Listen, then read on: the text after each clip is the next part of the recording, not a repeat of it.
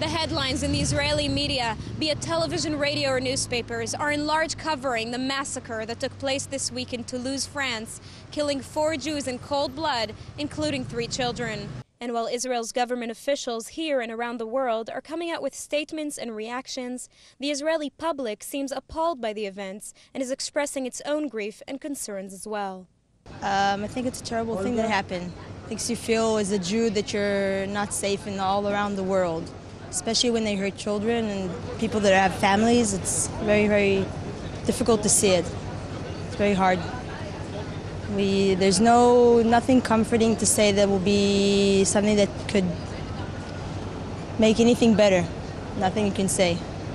That's how it is. I think that uh, yesterday it's happened in France, tomorrow it will happen in the States. And uh, the only place that the Jewish have is uh, Israel. So make aliyah. Uh, when something like this happens, it reminds you that uh, still a lot of hatred in, uh, in Europe, especially against foreigners. And I, don't, I don't think it's a terror act. It's just like like against a country. It's just against people, against who they are and what they believe in. And this is very very bad.